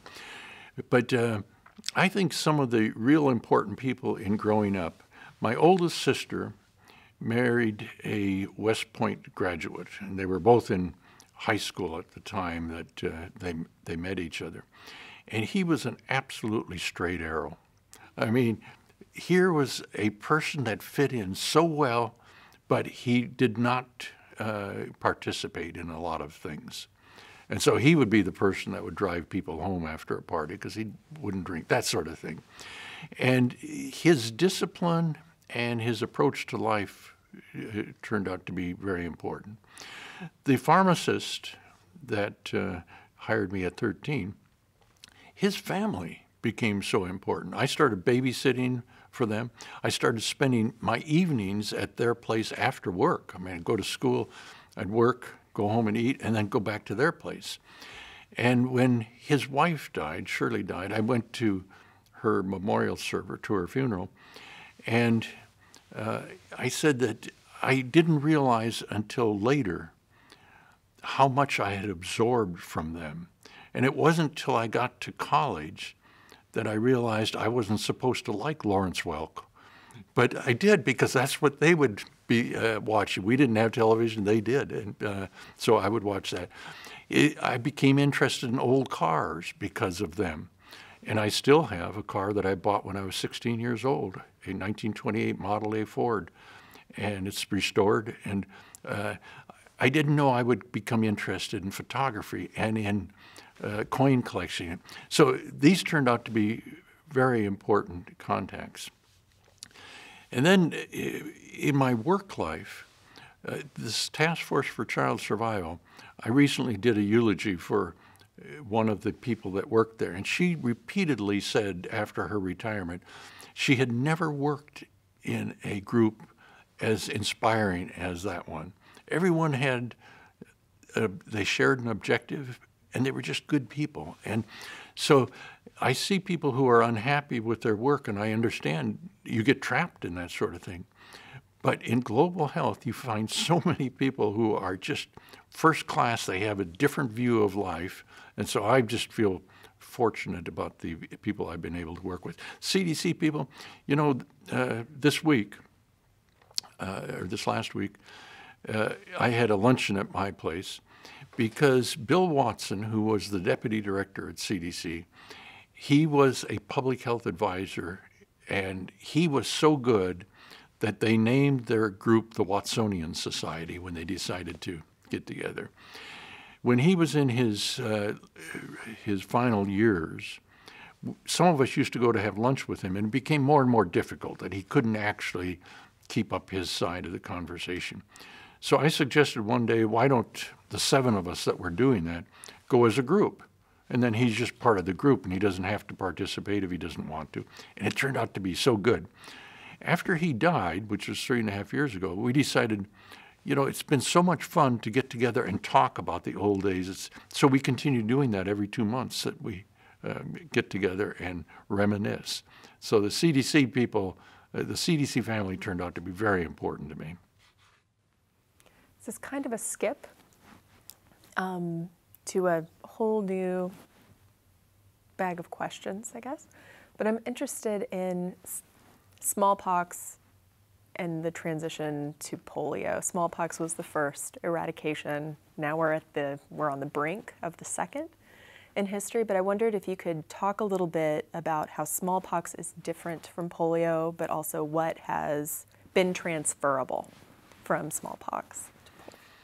It's interesting to me that many of the polio people actually worked in the smallpox eradication program. D.A. Henderson and, and uh, Nick Ward and Ciro de Quadros, they were all smallpox people. Uh, you have probably put Walt Orenstein on your list. Yes. And Walt Orenstein reminded me in an email this week.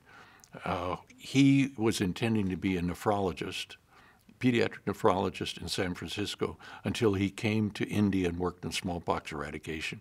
And then he spent the rest of his life on vaccines. Uh, so smallpox turned out to be a very important program for getting people into public health and keeping them uh, in public health. The diseases are different. With smallpox, you can easily diagnose a person that's sick because the rash tends to be on their face and on their extremities and they're often very sick also. With polio, uh, 999 out of the thousand, you don't know that they have polio. It's only the one that's paralyzed that you know. So uh, those are differences. And that makes surveillance different. Surveillance uh, becomes different. But in both cases, it's the surveillance that drives the work. With smallpox, surveillance allowed us to know where to spend our time on vaccinating, vaccinating so that we didn't waste all this time with mass vaccination, vaccinating people who would never be exposed or weren't going to be exposed for a year or two. And this worked in Africa when we first tried it in December of uh, 1966. And it took us a while to realize it's not just this one outbreak. Maybe we could do more. And so over six months, we identified every outbreak in eastern Nigeria and got rid of it. And that's where the war took place, the Biafran Nigerian Civil War. So there was never any smallpox in the war area. And then that gradually went uh, to other countries. And finally to India, where it almost met its match, because in India there was so much smallpox. You wondered if this could work. And it made a certain amount of sense. Do mass vaccination because there's just too much smallpox. But you know, we it took us about uh, three or four months to perfect the surveillance part of this. We started out just going to villages and uh, asking questions, but we were so surprised in two states alone, where we did this in October of 1973 during the low period of transmission, and I was so naive that in instructions I said, we won't find much smallpox, but we're going to learn how to do this. In six days' time, we found 10,000 new cases that no one knew existed. We were just totally overwhelmed. But it was the surveillance that allowed you to know to where to go for your execution of the program. And so containment then was the second thing. Surveillance with polio is more difficult, it still is possible. Do you know how we used to do surveillance early on in polio? We would uh, put Kotex into sewer systems and then try to detect the virus. And then you just keep going upstream from the positives until you find the case. But you can see how laborious that was and how much work. So surveillance was still possible. And it's abs- absolutely essential now to know where to put your attention with, with, uh, with polio. So those are two different uh, two, differences. In both cases, the uh, sociology turns out to be so important. And if you go in with just the science and try to implement that, with smallpox, you had goddesses in both Africa and in India. And for some people, they saw the visitation of smallpox as a positive visitation of the goddess. So, how do you get around that? And uh, so, in both cases, we had to learn a lot more about the culture and I have said in a book that I wrote about smallpox eradication if you tangle with culture, culture always wins. And so you have to figure out what to do specifically there. In both cases, you need constant motivation because we wear down. It becomes so difficult to keep doing the things you have to do every day. And so you need people that, that motivate you to let you know this is the right thing to do and that your times will change there was a time in India when it was hard to get people from New Delhi to actually go to the monthly meetings in the state because things just kept getting worse every month. And so you're always faced with people who are blaming headquarters for not doing this or that. And I continued going because I said there's going to be a day when this turns and everyone's going to forget their complaints. They're, it's all downhill. And that's exactly uh, what happened. When? When was that day? The day was May of 1975, uh, 1974, sorry, when um, the Minister of Health in Bihar had declared we were going to go back to mass vaccination because smallpox was not disappearing in Bihar. There were 31 districts, and he was able to show it's getting worse every month. Of course, the figures were getting worse every month because we were becoming more efficient at finding the cases. But our containment was getting more efficient, and I could already see where the turning point was going to be. And then the bottom drops out when he says we're going to go back to mass vaccination. And I argued with him at his home on Saturday and on Sunday, and he was very polite about everything. But he said, I'm coming to your meeting on Monday to declare this.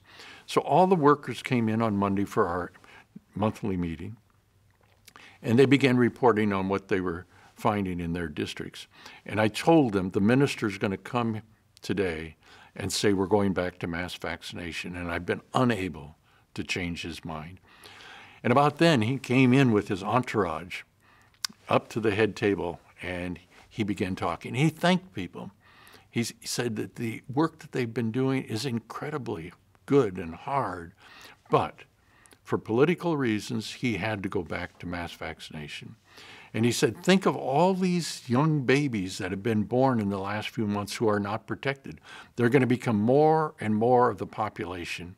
And when smallpox then reaches them, you won't be able to stop it at all. So he said, at the end of this meeting, we're going back to mass vaccination. And there was absolute silence in the room. We knew it was coming, but once he said it, you know, it just took all the wind out of the room. And then a young man stood up, and he was so thin and so unsure of himself. As he stood in front of the minister, he was absolutely shaking. And he said to the minister, I don't know much. He said, I'm just a village man. He was a doctor at this point. But he said, I know one thing. When I grew up in the village, if someone's house caught on fire, we all poured water on their house. We didn't run around the village pouring water just every place. He said, if we had done that, pouring water every place, that would be the equivalent of mass vaccination. By concentrating the water on the house that was burning, that is surveillance containment. The minister sat there and looked as if he'd been slapped. And he just stared and stared and stared. And I had no idea what was going to come next. And then he said, I'll give you one more month. A month later, we were able to show improvement in three of the 31 districts. It's not a lot, but it was enough for him to give us another month. And then the question never came up again. And between May of 74, when we had that meeting, and May of 75, eh, 75 12 months later, smallpox totally disappeared from India. Totally. I don't think there's ever been a more intense time in public health than those 12 months. So that was the tipping point, and then it improved. So we learned a lot about you have to, the local culture has to be involved. And it was that young, shaking man that made all the difference in the world, not us. Other, other um, other differences um, and, and, similarities. The idea of having teams that actually focus on places, the STOP uh, program, this has turned out to be very uh, valuable. And the ability to move resources into areas that are still having problems. For instance, now that they're adding IPV, obviously you add it to where you still have smallpox, I mean polio, rather than across the board because they can't make it fast enough for every place. So you add it to where you have polio. And I think this is one of the lessons. You don't come up with a strategy and just hang on to it. We changed strategy. Uh, well, we kept the strategy. We changed the tactics every month with smallpox eradication, every month, and that's what we're doing with uh, with polio. Now, it, it won't be the second disease. The second disease eradicated was rinderpest. It wasn't a human disease, but a, a disease of cows, and it's similar to our measles uh, virus, but it kills cows. And so the Fulani tribes in West Africa and the Maasai in East Africa, this was a big thing to them. And uh, rinderpest has been eradicated. I think that guinea worm may be the third disease, and it doesn't uh, use a vaccine. The fourth will be polio. I think the fifth could be measles. The sixth may be onchocerciasis, and the seventh may be lymphatic filariasis. Uh, I had always hoped that I would live long enough to see six diseases disappear. I've seen two, and we're getting close with some of the with some of the others. Here's another interesting thing, though. There is not a single pattern that works for disease eradication. Smallpox disappeared because two countries, the US and the USSR, combined forces to drive this through WHO. It was the USSR that started it, not the US. And we finally got together to make that happen. With uh, uh, polio, it's going to be a service club, Rotary, that turns out to be the important driver and I see the advantage now of an outside group forcing WHO into something. That's what happened. With guinea worm, it's an NGO, the Carter Center, that has driven this. With onchocerciasis, it's a corporation, Merck, that has driven this. With measles, it's going to be the American Red Cross. So each time we use a different pattern. What's similar is we gather a coalition around an outcome, and that's what makes it work. And that's what we're learning about leadership is that leadership doesn't come with a title, head of CDC or head of WHO. It comes with the person that can make a coalition effectively work. And then does that person disappear? The person uh, oftentimes disappears because they are so focused on this one problem but, uh, but sometimes, I mean, uh, when you see how many people went from smallpox to polio, and then from there into onchocerciasis, um, th there is a certain continuity with a certain group of people. I'm very interested in how these partners have worked together. you know, everyone has entered kind of at a different time. UNICEF and WHO were very close together um, in timing, I believe. Um, but I'm interested in your personal experience working with when you have encountered Rotary um, and maybe other points of contact, maybe with Gates would be a good, a good place to go to, or anything that you think is relevant. The, see, these things turn out to be coalitions.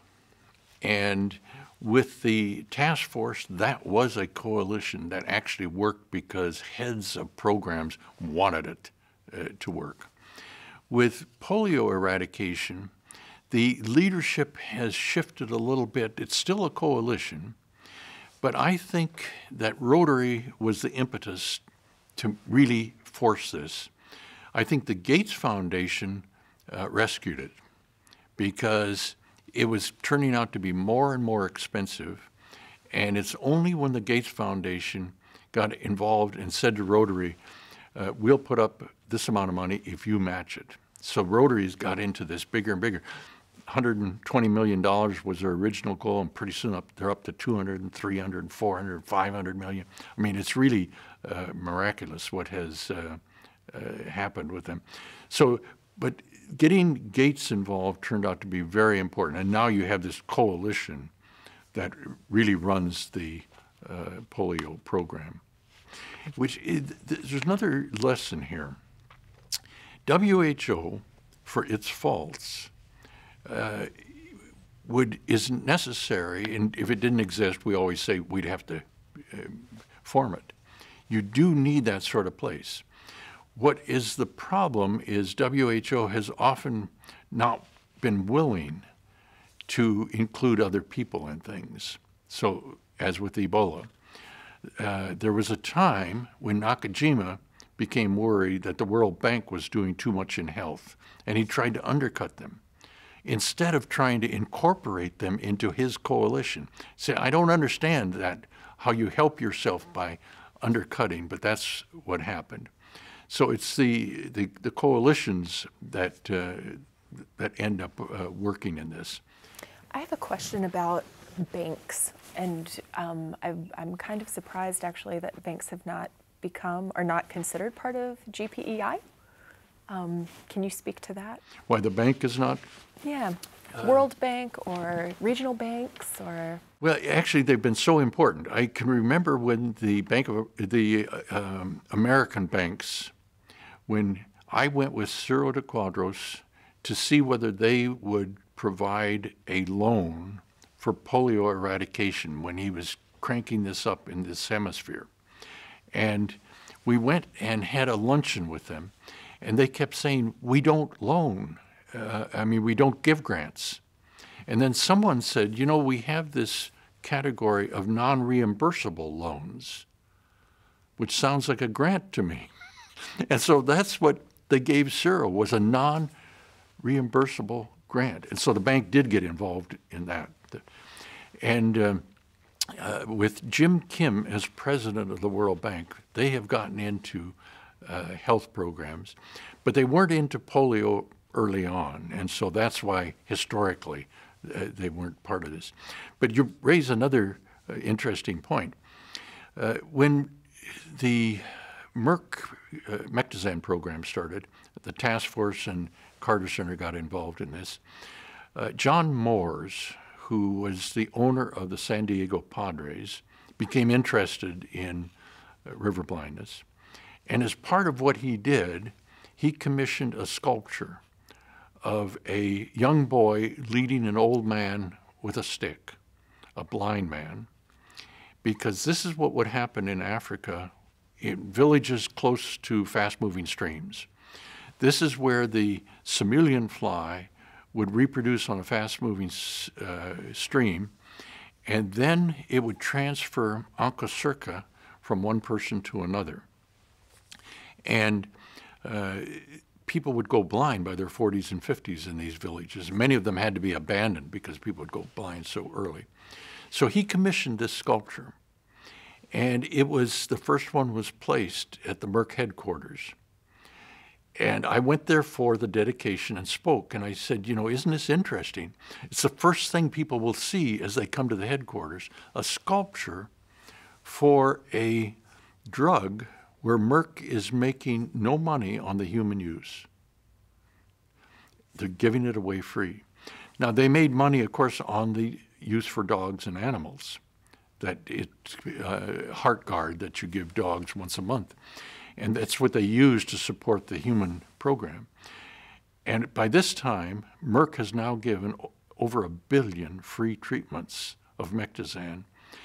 So I pointed that out, but I also pointed out how rough the man's feet were, and that this was part of the disease, the roughening of the skin and so forth.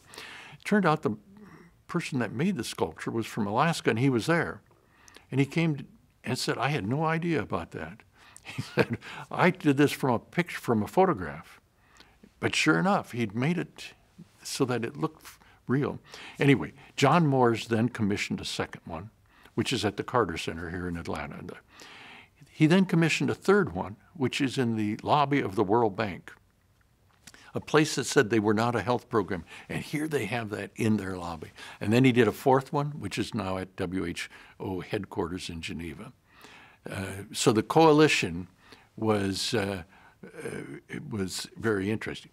But it's one program that is not led by a global uh, agency because Merck gave the drug and set up a Mectizan expert committee to decide who would get the drug, and I chaired that for 12 years.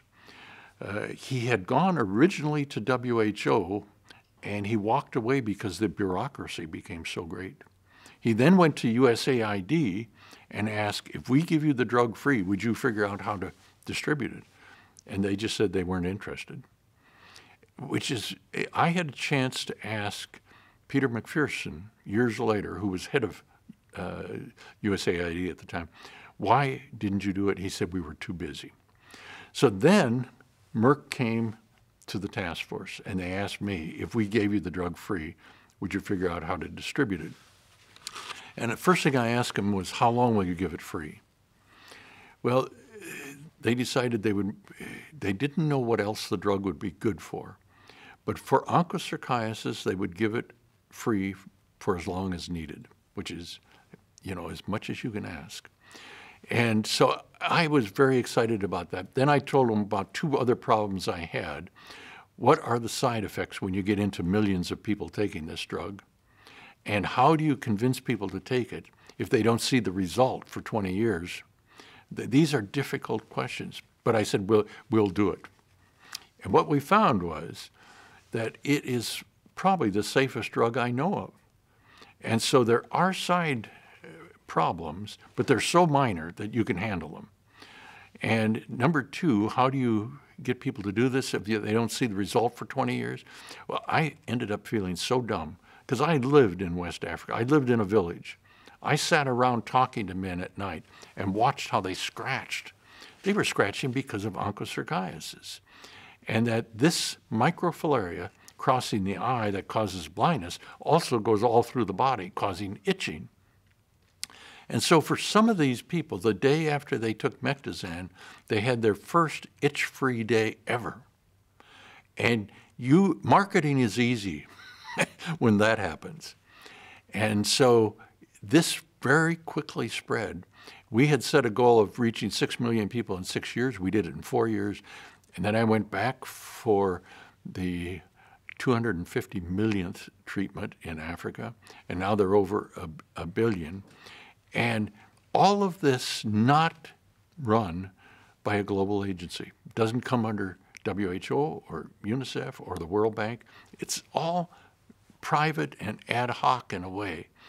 And it works so well that, as did the Task Force for Child Survival, that makes me wonder why can't we do more of this?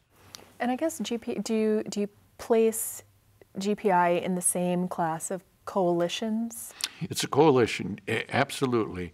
It's still WHO is seen as leading the coalition, but it now includes the Gates Foundation and, and uh, UNICEF and others, yeah. Rotary is, it continues to be a big part of it. One question I, I have about GPEI is why there has never been kind of a legal agreement or entity put in place. Um, and I like to think that it's not necessary to do that, that you can do it on good faith and common interest. You can be sure there would be one if it, it was required. Rafe Henderson has often said about the task force that the WHO lawyers continued to try to find a way to write this up legally, what we were doing, and they couldn't. And so they sort of dropped the idea, and Rafe said, that's what allowed this to work because we could be a little bit loose. And uh, the best coalitions, I think, are based on faith, that you actually have faith in the other people in the coalition. In that Talloires meeting in March of 1984, we came up with a statement about what things that needed to be done. And each one of the agencies, UNICEF, WHO, UNDP, World Bank, said there is no way we can get this approved by our agency in less than a year. Well, that does no good if you have to wait a year to put that out.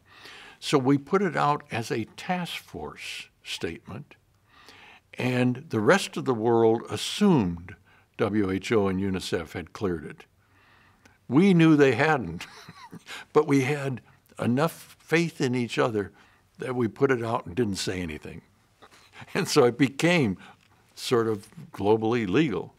And uh, so if you don't need a legal statement, uh, um, be careful about doing it. And reminds me of Johnson, the famous uh, fellow from the UK, who once was in a group, they were drinking, and someone left the room, and he said, I don't like to speak poorly about someone behind their back, but I suspect he's a lawyer. Uh, the president of Mercedes has just given a talk on what's happening because of computers. And he said, if you're in law school, drop out. There's no future for you. He said, we're going to have a 95% reduction in lawyers because computers are going to be able to provide what most people need for whether it's wills or, or a contract for a house, and you won't need a lawyer. And so that's an interest. Eh, so if you don't need to have a legal document, though, avoid it. I never had a legal document with Emory on their 8% overhead and who I answered to. It was all on just uh, good faith. I think we're coming, at least, I don't know how much time you have today.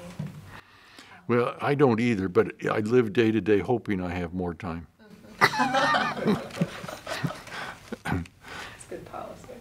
In terms of polio, do you feel like there are things that we, there's no way to cover everything, especially in one session. Um, but is there anything major that you feel like we have left out? In the pre-interview, you referred me to a list of notes you had made, so I'm just stating this for the recording, um, so that we know it's here also. Um, and I think that we covered.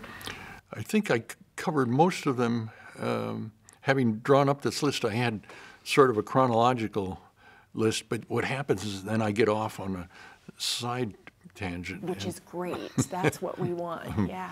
And, and then forget where I am, so I could have missed some things because of that. But, uh, you know, this turned out to be a far bigger challenge than any of us could have imagined at the beginning. And part of that is um, that based on our decisions rather than on what should have, what nature did.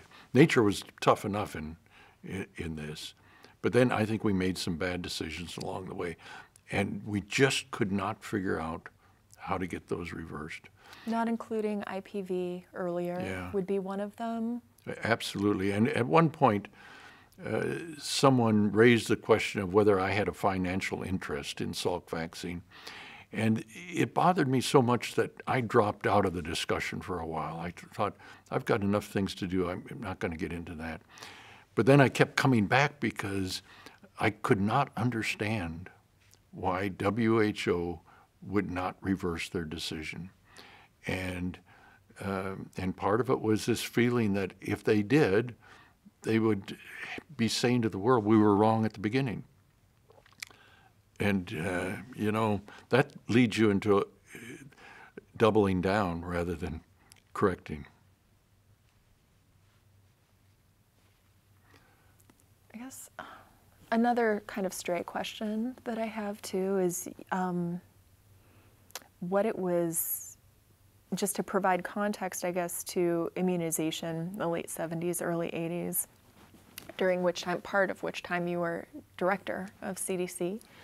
Um, what the picture looked like in terms of priorities, especially as AIDS emerges, um, whether or not that affect, impacted approaches to immunization, resource allocation, like. The immunization program in the United States began improving in 1977 because President and Mrs. Carter, when they got to the White House, invited uh, the former governor of, of, oh my goodness, I'm sorry. That is okay. I, you can, do you want to take it? No, no, pause? it's just I, I didn't even know I had it on, so No I'm sorry about that. No worries. Um, but they invited uh, the Bumpers. He was now senator, and Betty Bumpers and Rosalynn Carter had become friends as governor's wives, and they had worked on immunization. And so they had dinner, and the question came up what could they do about immunization in the country? President Carter called Califano the next morning. Califano called me, and he said, let's set a 90% goal of immunization by uh, school entry. when you heard 90%, did that sound like a really high number to you? It sounded like a very high number because uh, I went to Don Millar, who was head of immunization, and he immediately said, I would not want to see that in my job description. And the next day we put it in his job description. And he rose to the occasion, got to 90%, 91, 92, all the way up to 95. And then we found you actually have to do this by age two for some of the diseases rather than school entry. But we kept improving. Then we asked, could we interrupt measles transmission in this country? And the answer from most people was no. It spreads too uh, rapidly that it's just unbelievable, that virus. If you take a child into a, um, into a doctor's office with measles, that child leaves, and two hours later, another child comes in, they'll get measles. They've never even seen the, the case of measles. So it spreads so, it's just like a laser beam. It picks out the people who are susceptible. But we decided we're going to see if we can get rid of it. And so every week I devoted 30 minutes where the measles people came in and said, This is what we found this week. Every week there was a new problem. Every week we corrected that problem. And we got to a point finally where we had the first week with no cases of measles. But the last barrier, and this is what I insisted on, was we won't know what the final barriers are unless we choose this as an objective. The last barrier turned out to be we were having about two importations a week of measles from other countries, and we didn't even know it. It was all hidden in what was just happening domestically. And so with that, PAHO improved its program, so we had fewer importations. And now we know that every case of measles is due to an importation from someplace. So we were able to do that. And so immunization became a very important part. What happened with, with AIDS was some people have said the government did not respond well to AIDS. I have a different opinion. I think that uh, the government responded as well to AIDS as it ever did to the Cutter incident or anything else we had. But people who make that accusation are following budget lines. And it takes a few years for something to get into a budget line. But I can tell you, is immediately after that uh, MMWR article in 1981, Paul Wiesner, who was head of, of uh, sexually transmitted diseases, already had put people out under his money to investigate this. And we continued to draw money from epidemiology from other places. So there was never any slacking. But or competition. Yeah, but the people, that's right, or competition with other programs. We put in what uh, needed to be done. Now, there was a great controversy at first whether this was due to a virus or whether this was due to uh, using drugs. And what finally clinched this was uh, our second case of AIDS in a uh, hemophiliac. The first one, we couldn't quite be sure because the person had died, and so you weren't able to tell whether this was a gay man or not. The second one, this was clearly due to factor VIII. And we knew that day we're going to have problems now with blood transfusions. And so we kept pouring money into trying to answer these questions. And in 1984, before a virus had ever been isolated, the MMWR came up with what we know and how to avoid getting AIDS. And I look back at that, and just on epidemiologic grounds, we knew everything. And we were able to give all of the uh, recommendations that we would give now, even with the virus. And even with the knowledge now. Yeah, yeah. So, but I tell you, it, it was a very worrisome time. And I can remember that uh, in January of 2000, I was now with the Gates Foundation, and we had a meeting in Seattle to ask, is there any light at the end of the tunnel in Africa? Because people were dying so fast that teachers were dying faster than you could replace them, health workers were dying faster than you could replace them, church workers and so forth. It, it looked so unapproachable. And we came up with six, what we call lights at the end of the tunnel. And we were each asked to go back and uh, try to encourage our foundation to get involved. Gates Foundation had not been involved in AIDS up until then. So uh, I was delegated to uh, present this to Bill Gates. We went to his office, and uh, as I've said before, it couldn't have started worse because he was angry about a grant request sent to him and he said, I've told you before, I never want to see something like this again. It's a bottomless pit. If I invest this year, I have to invest for years to come. That you have committed me to something that I cannot withdraw from. And I was thinking, that's about what I'm to ask him. And uh, I was desperately trying to figure out how do I get away with this. I decided all I can do is tell him.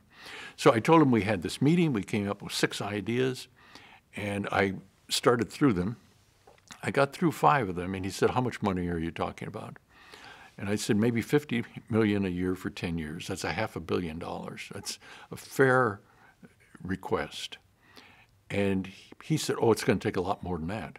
And that gave me courage to go to number six, which was orphans in Africa. And his response was, You can't worry about AIDS in Africa and not worry about those orphans. So in 20 minutes, when he had started out saying, I never want to see anything like this again, in 20 minutes, he approved all six. And on the way home with his father, I asked his father, Can you tell me what happened? And he said, Well, we all have our inconsistencies. and he said, He knows what he wants, which is a return on his investment. But when faced with the human condition, he'll try to make the right decision. And I've always thought that was one of the best things I ever heard at the Gates Foundation, and it came from Bill Gates Sr. That's great. Um, we're 17 years behind to something that Alan Hinman said on Friday in the oral history interview. And I wanted to get a little bit of your perspective on what it means to set these target dates and then for things to continue after that, how do you view that? With, I often say, with smallpox in India, we had these monthly meetings in the endemic states. And each month we would review what the people had found on the ground And then we would set targets for where we wanted to be a month later. We never once reached our targets until the last month. And so you have to have targets that would expand what you think might happen in order to keep you inspired to try to do that. And you're much better off failing in the target than not having the target. And as one physicist said, it's much more fun to not catch a big fish than to not catch a small fish. So that's what we do with those targets. We, these are big fish, and and if you don't make it, uh, say you don't make it, don't come up with excuses. Come up with reasons why you didn't make it, and how will we correct this for the next time around. Have you found that there there has been a range of responses has anyone responded with disappointment? And how do you, I'm, I'm getting at this other question of how you keep people going. For this long, it's been such a feat. Yes, and the um, question you asked yourself what would it take to keep people going if you did not do polio eradication? If you every year gave polio vaccine and every year had kids getting polio and every year have iron lungs, and then how do you keep people going? And so this is what I mean by a big fish versus a small fish. And you know, you have to be convinced this is worth doing. Garry Wills wrote a book uh, called Certain Trumpets, and it's a book on leadership. Rafe Henderson, I think, mentioned this. Yes, yes. I referred that book to him. and Garry Wills uh, ends up showing that there are lots of different kinds of leadership. But basically, he said you become a leader by having an objective, and then you have followers that say, oh, yeah, that's what I want to do. And suddenly, um, suddenly you're a, a leader. But that it takes different kinds of leaders to inspire in certain conditions. In his book, for each kind of leadership, he gives two examples of people who are really good at that and an example of someone that wasn't. He has only two living people as examples. One is Andrew Young, who he sees not because he was a UN ambassador, but because of the way he provided leadership to the black and white community during the civil rights time. And Ross Perot, who he said was a good business leader, but not a good political uh, leader. And so uh, uh, part of leadership is to continue showing what the objective is and sometimes putting it in new ways that, that uh, people say, yes, it's still possible. And uh, uh, in some ways, the feat will be even greater because the problem was greater than anyone realized at the time they started. In observing polio eradication, mm-hmm. can you think of times when the the language around polio eradication has changed to keep people going in terms of communication strategy or I don't know wherever else you have seen it? Well, I think this idea of making it a global problem rather than a country problem, and that if we give up now in Pakistan, we have essentially decided we will in the future sometime have problems again in the United States. That's the inevitable result of giving up now. And so uh, there was a time, I think, when we were focused totally on eradication. Now we have to be focused on, but what happens if we don't get eradication? And that's just not tenable. It's just not tenable. The only way out is through. Yeah, yeah. One, I'm thinking of my follow up questions. Another question, I think we spoke about this in the pre interview a little bit, was the role of Cuba in establishing um, for PAHO, like this kind of base that eradication is possible or elimination in one country is possible. Um, and I wanted to ask if you re- recall Cuba coming into conversation about either eradication, even if not specific to polio. Yeah, I do recall it, but I don't know enough of the details. I have been to Cuba and I've seen their vaccine production and their ability to do things that we were unable to do. Um, you were mentioning AIDS. And before I went to Cuba, I was told over and over they incarcerate people with AIDS and that's the way they treat it. I got there and found out that wasn't true at all. That people with AIDS were, in fact, put into a health facility while they were worked up, and then they were discharged to their local physician. And I had, uh, I went for a reception with, there was a person in the Rockefeller Foundation. She married a Cuban, went through medical school, and uh, she had patients in her own practice with AIDS. And so that somehow uh, we were getting the wrong impression in this country about what they were doing. But I ended up very impressed by how Cuba was able to focus on prevention. They were able to focus on things like vaccines and uh, that they had a medical care system that covered everybody.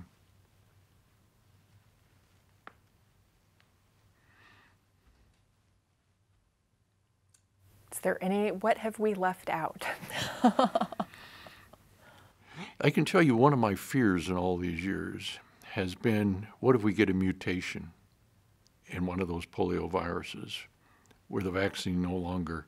And so that is my fear every time we have a, a setback, that it's going to take a little bit longer, a little bit longer. Is do we have a risk of a mutation? And uh, so that's something we have to keep following. And of course, people are doing that because uh, with every virus that they uh, actually are able to get, they do a full exploration of, of the uh, uh, nucleic acid. And Meaning how long it would take for a mutation to occur or? What if it just occurred overnight and now it no longer, it's, the vaccine no longer protects against it? Then where do we, how long would it take us to have to get a new vaccine? And, and uh, so that's been one of my worries. But it is being addressed. People are watching for that all the time, yeah. Mm-hmm. Yeah. Does the, the do the chances of a mutation occurring? I mean, I guess you say it could happen overnight. Mm-hmm. So really, it's yeah. There's is there anything that would increase that chance? It's been so stable. I think that's the positive news. I mean, we have viruses like flu that change all the time. We have parasites like uh, trypanosomiasis that change just all the time. It's hard to get a reading on the antigens because they are able to. But polio has stayed pretty true uh, for as long as people have been able to study it. So I guess that has been to the advantage yeah, yeah. of the eradication efforts. Yes. Is there anything else you would like to include today? I this is like a snapshot of. I'm sure this was more than you uh, expected uh, as it is, but no, I don't think of anything else. Okay, that's wonderful. Um, if there were to be a, an opportunity, would you consider a second interview? Oh, sure, okay. of course, yeah. Great, great. Well, thank you. We'll close there. Thank you okay, so much. Thank you.